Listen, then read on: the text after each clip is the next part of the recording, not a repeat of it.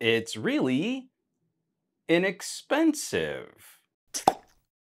Okay, here's the deal.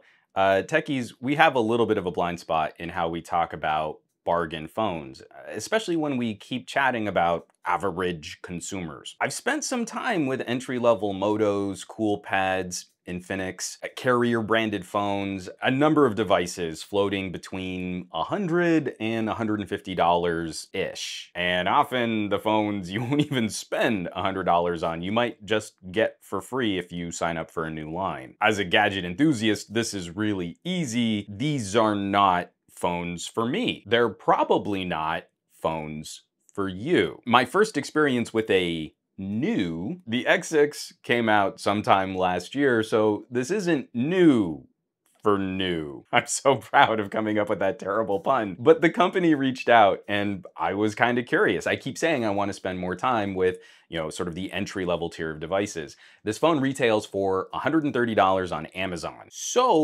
what's it like? It's pretty much fine. Is really not hard finding a slightly more expensive phone that's a little nicer. It's kind of a no-brainer that this is not a powerhouse gadget, but it represents an entire market largely ignored in our tech conversations. Everybody, we all need some kind of smart computing device to participate in modern society. People on a budget, people with bad credit, people who just don't need anything more. The X6 Plus resembles all the things we'd look for in a daily driver phone. I'm kind of off my script here a little bit. I'm not doing my normal performance tier categorization, but there are a couple things I do like. The screen at this price is respectable for a 720p LCD. Sure, the asymmetrical bezels, they don't look amazing, but I kinda can't care at $130. The rear fingerprint sensor is always a welcome ergonomic addition for any phone. This is not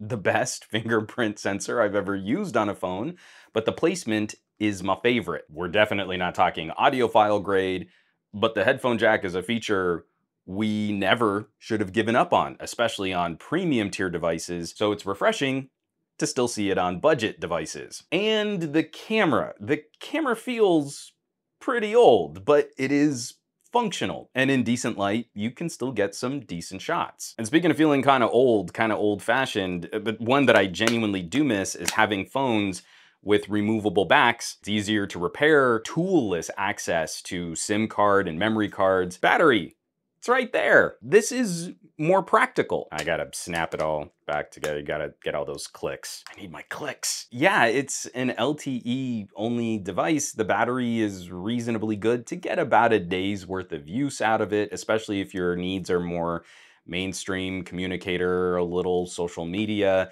It's it's a daily driver phone, but at 130 bucks, I feel this is a different conversation. I wanna take you on a quick flashback. Years ago, about six, maybe seven years ago, a friend of mine was really trying to save some cash and got saddled with one of those really cheap LG phones. I mean, I think it cost around $200. I mean, if I'm trying to remember that correctly. And that phone was miserable. It was cheap, and it was cheap. I mean, if you're complaining about lag or stutter on more expensive current devices, you've forgotten what lag really is. The cameras could not take photos, the screen was sub HD and gross, and the battery couldn't last a full day. I convinced him to return it and I talked him into spending about $100 more and getting a Nexus. He was a lot happier. I mean, you're actually able to participate in modern society. I think we still have that idea of the entry level. And that's not what these phones represent anymore. My friend was trying to save some cash back in the day, but he had the means he was able to bump his budget up another $100. Not everyone has that budget flexibility. Not everyone wants to shop a two to three year old premium phone on the used market. And those people still need phones. What this Nuu reinforces, you know, how I felt after using all those other entry level phones. We no longer need to scare folks with that reaction, you know? You see the phone and you start like breathing through your teeth face.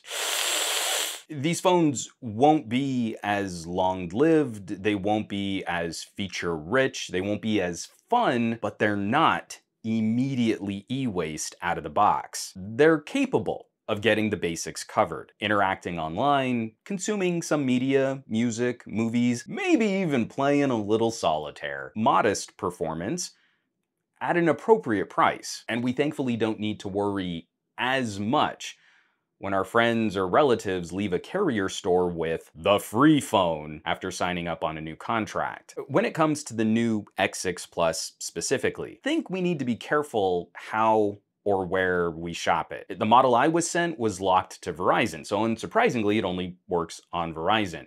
If you're shopping it on Amazon, it's labeled unlocked but it doesn't seem to really be unlocked and there are numerous complaints about trying to use it on other MVNOs. This phone does not get the same kind of recommendation I might enthusiastically deliver for a nicer mid-ranger at three to four times this price. But I'm not conflicted at all for that person who just needs to cover the basics or that person who's really trying to save some cash. There's something encouraging about this kind of tech trickling down to lower and lower prices. We need to have fair conversations about build quality, expected life cycle, software support, but the consumers who would have been the most vulnerable shopping at the entry level they've got better options than they used to have. I'll of course leave some links down below for more info on Nuu phones where you can shop them online.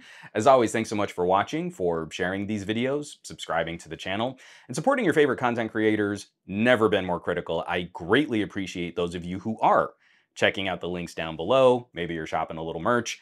That kind of stuff really does help keep production rolling on this channel full list of all my affiliates and partnerships on somegadgetguy.com, or you might consider, just maybe, joining the list of names scrolling by on your screen from my Patreon, patreon.com slash somegadgetguy. This list is basically a collection of the coolest tech pals in the world. So I hope you'll check them out. Now, you know you can find me around the rest of the internet at Some Gadget Guy on the Twitters and the Twitch.